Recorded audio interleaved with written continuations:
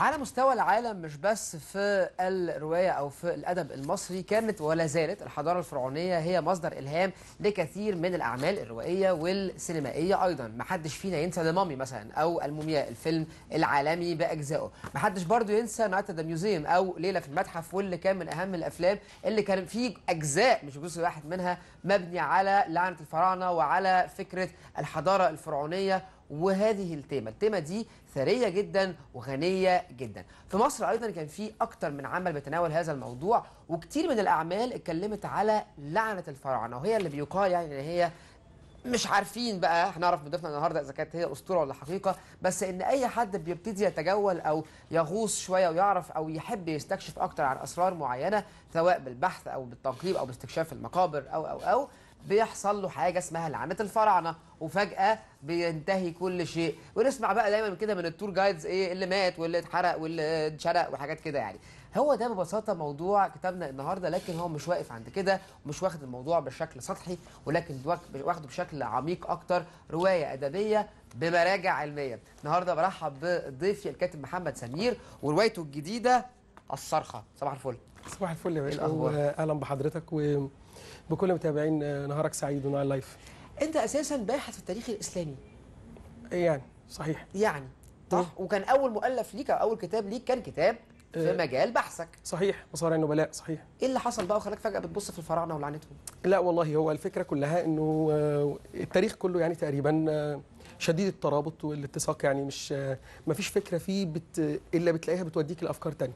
الحقيقة إنه أصلا أنا دلوقتي شغال على يعني بحث طويل جدا لدراسة تاريخ الكرة الأرضية من قبل بدء الخلق لغاية نهاية حياة المسيح. عليه السلام آه بشكل عام آه. وأثناء طريقي طبعا بتقابلني أفكار كتير وبتقابلني حاجات كتير فقابلتني بقى قصة المومياء الصارخة أو آه الصرخة يعني مم. اللي كانت طبعا محتار ما بين اسمها الفرعون الصارخ ولا آه المومياء الصارخة فاخترنا الصرخة كتعبير عام يعني طيب بشكل عام كده إيه هي يعني هل نعتبرها إيه مثلا رعب. نعتبرها ثريلر زي ما بيقولوا كده أو رواية فيها إثارة. نعتبرها إيه؟ آه، هي رواية قائمة يعني على قصة حقيقية وهي فعلا قصة المومياء الصارخة. وأما بالنسبة للرعب فالرعب اللي فيها حقيقي يعني أي كلام موجود فيها ده فعلا حصل. آه، حصل مع مين بقى حصل مع الشخصية بتاعتنا اللي هي نيتاور ابن. رمسيس الثالث وهو بطل القصة يعني وهكلم حضرتك عنه يعني بالتفصيل مم. وكل يعني كل جملة موجودة لا دي حصلت فعلا ده فعلا في التاريخ فيه الكلام ده.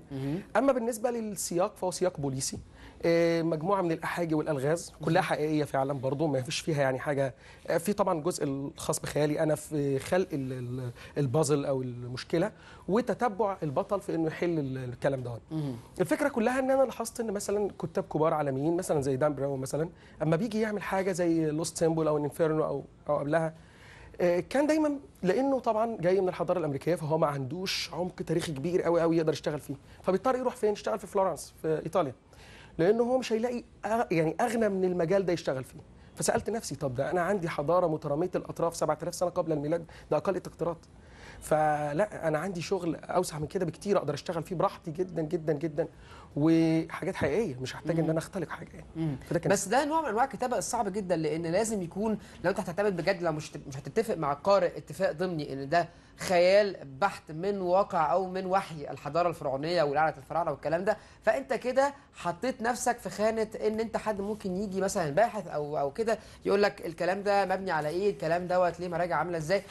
إلى أي مدى ممكن يبقى فيه خيال أو لأ في الكتابة؟ صحيح. اولا أنا لو ألزمت نفسي في أول الكلام بان قلت كل اللي موجود في الرواية صحيح ما بقتش رواية بقت كتاب. آه الرواية هي خيال صاحبها. لكن لما باجي أتكلم عن أحداث تاريخية أنا هاخدها هستلم منها الكلام وهكتب على أساسها أه ببتدي أشوف إيه المراجع اللي اتكلمت عن الموضوع دون أه لازم أكون دقيق جدا في كل حاجة حتى في الطلسم اللي موجود اللي أنا حاطه عن على اللي هيبقى على ظهر القتيلة يعني أيوة. ده طلسم حقيقي مكتوب باللغة القبطية و- وتراجع بمنتهى الدقة يعني طب عايز تحكي لنا كده ببساطة لو انت لو أنا النهارده واقف في المك... في المكتبة في ال... في ال... أي مكتبة بقى المكتبات الكب- الكبيرة دي وعايز آخد كده ريفيو وحد كده جنبي بيقول لي الرواية دي عن كذا هتقول له إيه؟ هقول له إيه؟ هقول له ببساطة شديدة جدا. في موميا اكتشفت في أواخر القرن ال 19 مم. اسمها إيه، سموها يعني العلماء المومياء الصارخة. وكان السبب في كده حاجة غريبة جدا. الموميا دي كانت محطوطة في الصندوق الخشبي بتاعها وكان شكلها عجيب جدا بتصرخ. هي شكلها مفزع وليه بتصرخ؟ الصندوق الملكي اللي كانت فيه معلوش أي يعني نقوش كأنه المقصود إنه يتوه مع إنه هو صندوق ملكي. آه، حتى الموميا اللي جوه ما كانتش آه، ملفوفة في الكتان لأ ملفوفة في جلد الماعز وكانت أحشائها موجودة جواها ما ما اتفضتش. الحاجة كانت غريبة جدا بالنسبة للناس اللي اكتشفت الكلام ده وحتى اكتشفها كان بالصدفة البحتة. اللي اكتشفها واحد أصلا كان بيرعى غنم وهو ماشي وقعت منه غنمة ده حقيقي فعلا في مكان مخزن لسرقة الآثار. فكان من ضمن الحاجات لما جاء طبعا المتحف في الوقت ده كان اسمه متحف بولاق واللي هو المتحف المصري زمان كان كده وراحوا اكتشفوا ال- ال- الموميا دي ونقلوها فعلا لمتحف بولاق اللي هو بعد كده يبقى المتحف المصري. بدأ العلماء مش قادرين يفهموا. إيه ده؟ مين ده؟ يعني هو يعني الطريقة طريقة فرعونيه ده؟ ملك. لكن كأنه ملعون. فضلت المسألة دي بالنسبة لهم لغز كبير جدا لغاية ما اكتشفوا ثلاث برديات ورا بعض ساعدوهم جدا. كان في طبعا قبليهم آه، بردية اسمها بردية هاريس آه، اتكلمت عن حياة رمسيس الثالث وبعدين ظهرت بقى بردية سموها بردية المؤامرة النسائية. كل ده بقى وقائع صح؟ كل ده facts حقيقية. ليها مراجع وليها حاجات. موجودة المراجع كلها في آخر الرواية. واكتشفوا بعد كده إنه إنه لا ده فعلا آه، الفرعون ده هو نيتاور ابن رمسيس الثالث وإنه اشترك مع امه الملكة تيا الزوجة الثانية لرمسيس الثالث وقتلوا الأب. وفعلا رمسيس الثالث مذبوح ميت مقتول. فدي كانت الفكرة وكأن ده كان عقاب عاقبوه بيه ال- الكهنه. من هنا أنا نسجت ال- الفكرة بتاعتي حوالين الرواية. جريمة قتل بتحصل في- زماننا دون في التجمع الثالث في التجمع الخامس وبيكتشفوا إن آه، بنت مقتولة آه، آه، كأن يعني ما اتدفنتش في الأرض بعمق لا ده كأن حد عايز يخلي الناس تلاقيها. لقوا على ظهرها طلسم مكتوب باللغة القبطية بمادة صمغ الراتنج ودي مادة التحنيط في زمن رمسيس الثالث. القصة بعتوا جابوا دكتور كبير عالم مصري. إن هو المفروض إن هو هيفك طلاسم القصة دي. لما وقف يفك طلاسم القصة دي لقى نفسه قدام طلسم مش فاهمه آه، مادة حمراء مكتوبة على ظهر البنت وشها مقتول بنفس الطريقة اللي مات بيها الفرعون. آه، دايبة الوش دايبة الجفون دايبة الملامح. فطبعا كانت وظيفته إن هو يكتشف آه، السر ده. بيفاجئ بعد كده إنه لأ بتتوجه له هو تهمة القتل دي لأن صمغ الراتنج اللي موجود على ظهر البنت ده هو تقريبا الوحيد في مصر اللي بيستورده لأنه قايم على أبحاث التحنيط. والحاجة الثانية إن هو من النادرين جدا اللي يعرفوا اللغة دي. والحاجة الثالثه بقى إن هم لقوا بصماتها ملابسها في بيته مع انه عمره ما شافها. قبليها بليلة بالظبط هو قاعد في مكتبه بيشتغل على الأبحاث بتاعته وبيفاجئ بإن هم بيقولوا له لأ ده ملابسها موجودة في أوضة نومك وبصماتها في سريرك. بيضطر طبعا إن هو يهرب عشان لازم يفك الطلسم ده عشان يثبت إن مش هو اللي عمل ده. وبيبتدي بقى أحداث الرواية. بتبتدي احداث الروايه يعني كل ده إحنا لسه ما بدأناش. كل ده كده بنقول بسم الله الرحيم يعني لسه آه بنبتدي أنت يعني كده لسه في الأول.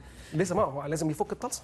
لازم ممكن تعصم طيب احكي لي كده يعني النوع ده من أنواع الكتابة زي ما أنت قلت طالما أنت ذك- ذكرت دان براون يعني في ناس كتيرة جدا كتبوا في الموضوع دوت أو في المجال الكتاب ده بشكل عام وتميزوا جدا فيه على مستوى العالم وفي مصر. إزاي قدرت تجهز نفسك ل مبدئيا كتابة في- بالطريقة دي ثم المنافسة والمقارنة؟ صحيح الكلام ده صحيح. بس هو في عدة آه، يعني عوامل في المسألة دي. مم. ال- العامل الأولاني هو إن أنت تبقى الأول مذاكر كويس قوي مم. مذاكر كويس قوي وعارف أنت شغال فين وعارف أنت مذاكر كويس وعارف أنت شغال فين وعارف أنت آه، إيه المراجع بتاعتك اللي هتشتغل عليها الحقبة التاريخية اللي هتدرسها. كل التفاصيل دي أنت المفروض تبقى عارفها وأنت بتجهز لشغلك. دي نقطة. النقطة الثانية ما تحاولش تقلد حد. عشان خاطر التقليد هيخليك آه، في محط مقارنة آه، مش عادلة لأنه مثلا دان براون في اليوم الأولاني من ال Lost Symbol باع 6 مليون نسخة. يعني فالفكرة كلها إن أنت ما تحطش نفسك في مقارنة بإن أنت تقلد حد. التاريخ الفرعوني غني جدا أو حتى التاريخ عموما.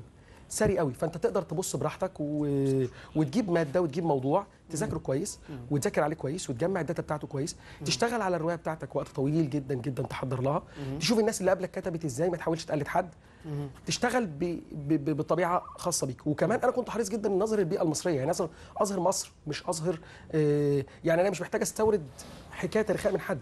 لا أنا أنا تاريخي كتير قوي. فأنا لا أنا عايز أتكلم عني أنا كان عايز أتكلم عن مصر. أنا عندي آه، الغاز وأحاجي. لو كتبت عن الهرم ده هكتب 20 مجلد. طب أنا عندي. سؤال. ليه تفتكر إنه الأجانب زي ما أنت قلت أو يعني الكتاب العالميين من ضمنهم دان براون وغيرهم يعني أو حتى صانعي الأفلام لما بييجوا يستخدموا الحضارة الفرعونية كوحي لأعمالهم بتبقى بصراحة هم شطار قوي في الحكاية ديت. بس في نفس الوقت هم ساعات كتيرة جدا بيبقى فيه مغالطات رهيبة وبيبقى فيه شطح في الخيال آه، ساعات كتير جدا بيكون بيضر بالشكل وبأساطيرنا مش بينفعها. هم بياخدوا الشكل السطحي أو بتاع بس التنفيذ هو اللي بيبقى عبقري. ليه شايف إنه يعني هم عارفين يعملوا الحكاية دي؟ الفرنساويين كمان بيعرفوا يعملوا الحكاية دي كويس قوي عشان جزء كبير جدا من الاكتشافات بتاعتنا الفرعونية أصلا هم اللي اكتشفوها.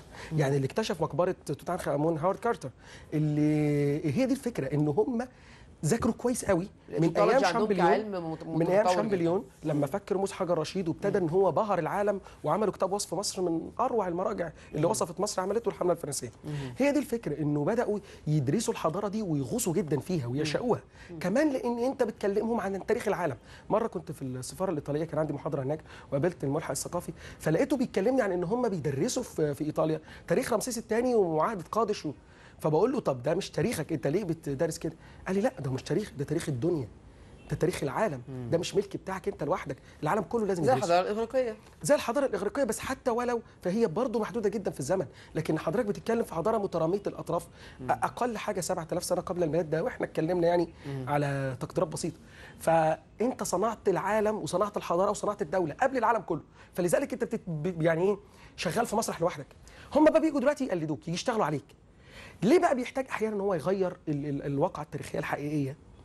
آه، عدة اعتبارات منها طبعا إن هم بيحاولوا أحيان كتير يصدروا فكرة إن الأهرامات لا مش بنوها المصريين لا ده بنوها اليهود اللي كانوا موجودين مستعبدين في مصر. واكسودس هو آخر عمل. بيتكلم في القصة آه. وإكسدس طبعا وإكسدس ده قصة لوحدها. يعني والفكرة اللي هم عايزين يصدروها لنا لكن طبعا آه، الكلام ده اثبت العالم كله يعني مش صحيح هم نفسهم. طيب هو في لعنة فراعنه ولا لأ بقى من اخر كلام كده يعني؟